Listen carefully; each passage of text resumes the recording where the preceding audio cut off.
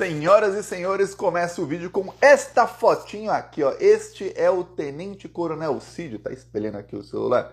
Este é o Tenente Coronel Cid deixando a carceragem lá em Brasília. Foi solto o Tenente Coronel Cid, por quê? Porque falou. Falou muito o Tenente Coronel Cid e é, faz alguns minutos chegou na sede da Polícia Federal um oficial com um documento. O documento tinha assinatura de Alexandre de Moraes.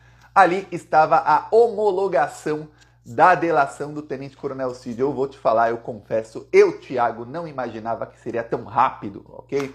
Quando no dia 7 de setembro foi anunciado que o, a Polícia Federal a, aceitou a delação do Cid, eu pensei, pô, vai aceitar a delação, vão discutir os termos, vai para o Alexandre de Moraes, até homologar vai aí umas duas semanas.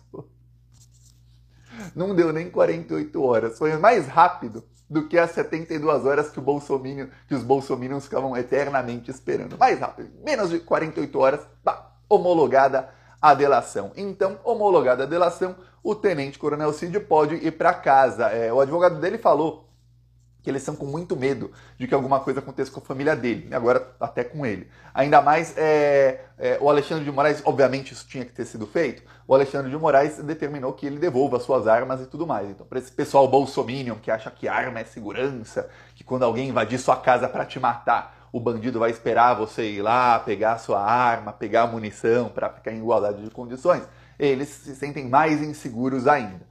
É, o advogado falou que tem um conglomerado, não falou quem, mas é o entorno do Bolsonaro aí, que pode querer alguma coisa contra o Cid e sua família. O, o fato é o seguinte: ele já delatou. Então agora o Cid deve prestar nas próximas semanas outros depoimentos para esclarecer alguns fatos. Mas a delação dele ter sido aceita significa o seguinte: o que ele já falou e o que ele já apresentou de provas nessas mais de 24 horas de depoimento que ele deu aí nos últimos dias, já é suficiente para que ele possa ir para casa e para que ele possa ter ali benefícios na sua pena no futuro. Um dos benefícios foi para casa agora e terá benefícios na pena, ou seja, já foi tudo negociado, tudo acordado. O Alexandre de Moraes viu a delação, viu os termos, viu, ó, ele falou isso, isso e isso, apresentou isso, isso e isso contra fulano, cicrano, beltrano e aí vai, e vai ganhar em troca isso, isso e isso. Ok. É, agora vem uma bomba.